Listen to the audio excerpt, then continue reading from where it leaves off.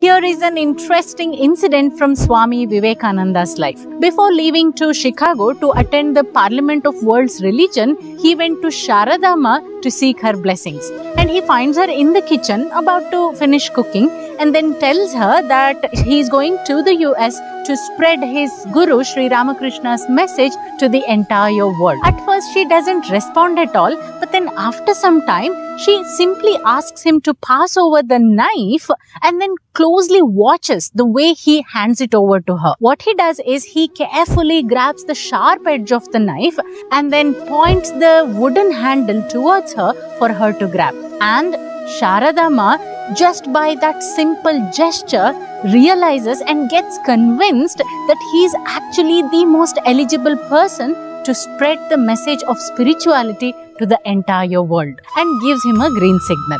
But what's the point of that gesture anyway? Read that in the description.